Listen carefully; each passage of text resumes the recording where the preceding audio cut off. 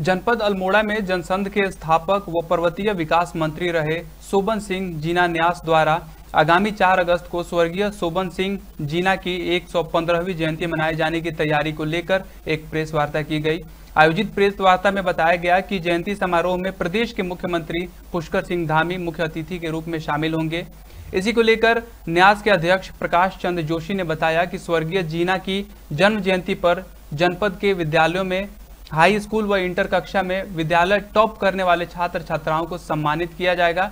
साथ ही सामाजिक क्षेत्र में उल्लेखनीय कार्य करने वाले लोगों को भी सम्मानित किया जाएगा। यह कार्यक्रम विश्वविद्यालय के ऑडिटोरियम में आयोजित होगा। अल्मोड़ा से नसीम अहमद की रिपोर्ट। देखिए जीना, सॉरी शोभन सिंह जीना जी की 115वीं जयंती का कार्यक्रम चार अगस्त को मनाया जाए। मनाया जाना है। हर वर्ष हम उनकी जयंती यहाँ पर मनाते रहे हैं। तो इस वर्ष ये खुशी की बात है कि प्रदेश के माननीय मुख्यमंत्री श्री पुष्कर सिंह धामी जी मुख्य अतिथि के रूप में उस कार्यक्रम में रहेंगे। और ये कार्यक्रम इस बार सोवन सिंह जिना परिसर के वहाँ पर उनके हॉल में मनाया जाएगा।